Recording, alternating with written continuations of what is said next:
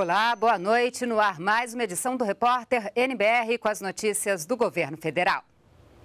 O Conselho de Desenvolvimento Econômico e Social se reuniu pela última vez no ano hoje. No chamado Conselhão, 94 representantes da sociedade colaboram com o governo para implementar políticas públicas. Vamos saber mais na reportagem. No último encontro deste ano, o Conselho de Desenvolvimento Econômico e Social, o Conselhão, trouxe os resultados do trabalho do colegiado ao longo de 2018. O formato de hoje do Conselho permite não só opinar, mas também decidir sobre os mais variados temas. Nós tivemos 13 grupos de trabalho. Os senhores propuseram 39 recomendações. Tivemos depois mais três comissões de trabalho. Não é pouca coisa isso que nós fizemos nesses dois anos de conselho. Ah, e o mais importante é que aquilo que vocês propuseram, o governo tem dado resposta. O presidente Michel Temer ressaltou as contribuições do Conselho no aperfeiçoamento das políticas públicas nos dois anos e meio de seu governo. Boa parte do que fizemos, uh, nas várias uh, reformas, as várias uh, modificações, nasceram precisamente deste é, conselho, como o censo agropecuário, os esforços de desburocratização, a educação, o programa Educação Conectada, não é? a estratégia brasileira para a transformação digital. O Conselhão é formado por 94 representantes da sociedade civil, como pesquisadores, empresários, sindicalistas, entre outros profissionais das mais diversas áreas. Criado em 2003, o colegiado aconselha diretamente o presidente da República por meio de recomendações que podem ser transformadas em novas políticas públicas ou contribuir para o aperfeiçoamento de políticas já existentes. E o Brasil não está sozinho. Em todo o mundo, mais de 70 países possuem conselhos semelhantes, com o objetivo de aprimorar a democracia. Segundo o ministro da Casa Civil, 76% das sugestões dadas pelo colegiado durante o governo Temer foram implementadas. Isso demonstra o quanto a sociedade civil pode influenciar as ações políticas de um país quando lhe é dada a oportunidade. O ministro de Estado extraordinário, coordenador do Gabinete de Transição, destacou a importância do Conselhão para as decisões de políticas públicas e evidenciou a tranquilidade no processo de transição. Fica aqui, presidente, o reconhecimento do novo governo e o agradecimento eh, pela forma como foi construída esta transição, eh, que é uma transição ofertada não ao novo governo, mas aos brasileiros e brasileiras que, na medida em que a relação entre aqueles que têm a responsabilidade de administrar o nosso país até 31 de dezembro desse ano e aqueles que ingressam com essa responsabilidade a partir de 1 de janeiro, a nosso objetivo é comum, é servir ao país. Para a última reunião deste governo, o Conselhão trouxe propostas sobre competências federativas, reforma política e reforma tributária. Ao apresentar as contribuições de uma das comissões de trabalho, esta conselheira afirmou a necessidade de melhorar a representação política do cidadão brasileiro. E para isso, segundo ela, é preciso observar a diversidade. Isso não é somente por democracia mas para termos a eficiência. Diversidade gera inovação, gera ideias fora da caixa. E o presidente Michel Temer também participou hoje no Tribunal Superior do Trabalho da solenidade de concessão da Ordem do Mérito do Trabalho Getúlio Vargas. Foram homenageadas mais de 100 personalidades e representantes de entidades que se destacaram em iniciativas para o desenvolvimento e a modernização das relações de trabalho no país. Entre os agraciados, ministros de Estado e parlamentares.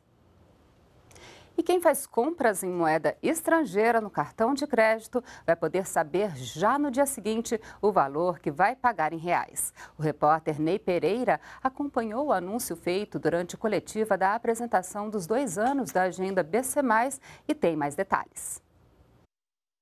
Durante a apresentação da agenda BC+, o presidente do Banco Central, Ilan Gondfai, anunciou a fixação da taxa de câmbio do dia da compra para gastos feitos em moeda estrangeira nos cartões de crédito internacionais. Com isso, o cliente ficará sabendo no dia seguinte quanto vai desembolsar em reais, eliminando a necessidade de eventual ajuste na próxima fatura.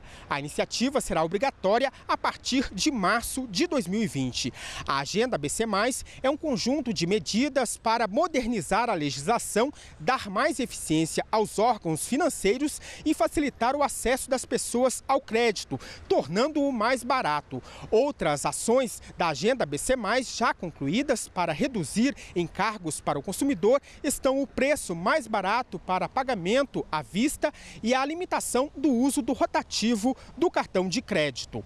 Durante a apresentação da agenda BC, o presidente do Banco Central também fez um balanço do panorama econômico e anunciou que a inflação oficial do país deve fechar o ano em 3,94%, abaixo do centro da meta, que é de 4,5% ao ano.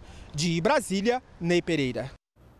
E foram anunciados agora há pouco novos nomes que vão integrar o futuro governo. Ao vivo do Centro Cultural Banco do Brasil, a repórter Daniele Popov tem as informações. Olá, Daniele, boa noite. Oi, Alessandra, boa noite para você, boa noite a todos. Agora mesmo, agora há pouco, foram anunciados outros três nomes aí para compor o ministério de Jair Bolsonaro, o presidente eleito Jair Bolsonaro, que já saiu, inclusive, aqui do gabinete de transição em direção ao Rio de Janeiro. O primeiro deles foi anunciado por meio da conta do presidente eleito no Twitter e é Gustavo Canuto, que vai comandar a pasta do desenvolvimento regional. Os outros dois nomes, Osmar Terra para o Ministério da Cidadania e o deputado federal Marcelo Álvaro Antônio para o Ministério do Turismo. Bom, Gustavo Canuto, que é servidor efetivo do Ministério do Planejamento, falou com a imprensa aqui no gabinete de transição e anunciou que esse novo Ministério, Desenvolvimento Regional, ele vai abrigar outras duas pastas existentes: Integração Nacional e cidades. E ele disse, inclusive, que o orçamento dessas duas pastas deve ficar, deve ser englobado aí nesse novo Ministério do Desenvolvimento Regional, que varia entre 6 a 8 bilhões de reais. O deputado federal Osmar Terra, que já foi inclusive ministro do governo do presidente Michel Temer, que vai ficar com o Ministério da Cidadania, também explicou como que vai funcionar essa nova pasta. Ela vai reunir outros, outras, outros ministérios existentes, que são o Desenvolvimento Social, Esporte, Cultura e parte da Senad, que é a Secretaria Nacional de Políticas sobre Drogas. Aqui, ao falar para a imprensa, Osmar Terra informou sobre o que poderá ser, uh, o que poderá avançar né, nesse ministério, sobre os programas sociais e comentou, inclusive, sobre o Bolsa Família. Disse que o Bolsa Família continua continua. E sobre o Bolsa Família, quem também falou sobre o programa foi o presidente eleito Jair Bolsonaro, que também falou com a imprensa aqui no gabinete de transição.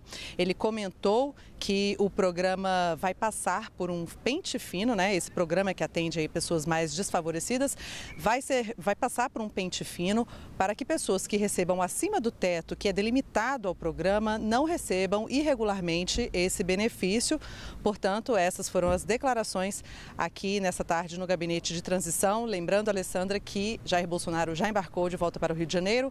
Hoje foi o último dia dele aqui em Brasília. Eu volto com você. Muito obrigada pelas informações, Daniele. Um bom trabalho para você aí no Centro Cultural Banco do Brasil. Nós ficamos por aqui. Você acompanha nossa programação ao vivo pelo site da NBR. Todas as reportagens estão em nosso canal no YouTube. Acesse também o nosso perfil no Twitter. Você pode mandar sugestões de reportagens e dúvidas sobre programas e ações do governo federal para o nosso WhatsApp. Então, anote aí, é 61998678787. Uma boa noite para você e continue com a gente aqui na NBR e a TV do Governo Federal.